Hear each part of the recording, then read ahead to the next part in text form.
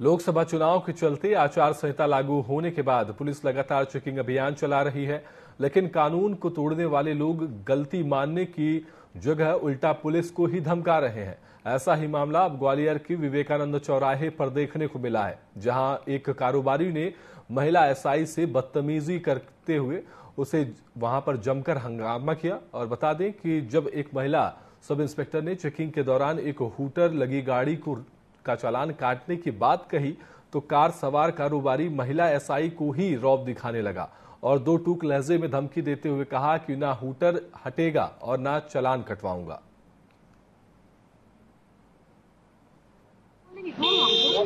SP साहब को पकड़ लेना उन्हें निकाल लो कर कहें आप बता दो एसपी साहब आप बात लीजिए ना भैया। मैं क्यों कर लूँ? तो कौन करेगा बात? मैं मैं थोड़ी करूँगी मेरी गाड़ी आप नहीं पकड़ सकती क्यों? नहीं पकड़ूँगा। क्यों नहीं? आपको एसपी साहब से बात आप करें करा दीजिए मैं क्यों एसपी साहब कहेंगे? हमारा काम है गाड़ी रोकने का?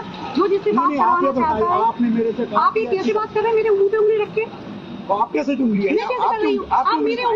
पे कोई व्यक्ति वो हूटर लगा हुआ था अपनी गाड़ी में वो मना किया था चलान भरने के लिए और काफ़ी बहस किया। तो ये इस संबंध में अपने को रिपोर्ट मिला है। कल ही वो कंसर्न सूबेदार ने रिपोर्ट किया था।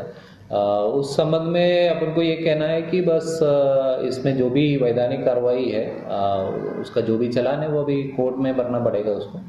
और आगे वो व्यक्ति रोड पे निकलेगा तो उसका गाड़ी जब्त हो जाएगा जो भी कार्रवाई चलान उसमें बनती है वो भी की जाएगा।